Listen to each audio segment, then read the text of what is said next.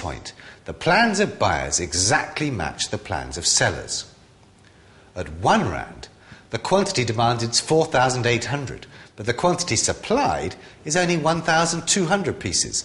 So the buyers are frustrated. They'd like to buy 4,800 pieces, but the suppliers are only prepared to produce 1,200 pieces at that price.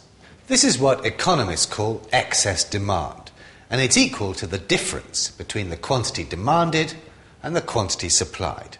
So, 4,800 minus 1,200 is equal to 3,600. So, an excess demand of 3,600 pieces of fried chicken exists in the market. In this case, it is the buyers who now compete with one another, trying to get hold of more chicken. Upward pressure continues to drive prices up until market equilibrium is reached at a price of 4 rand, where demand and supply are equal.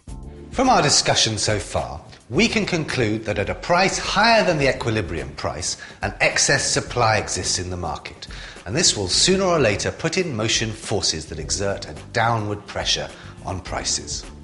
But at a price lower than the equilibrium price, an excess demand exists, and this will start an upward pressure on prices in the market.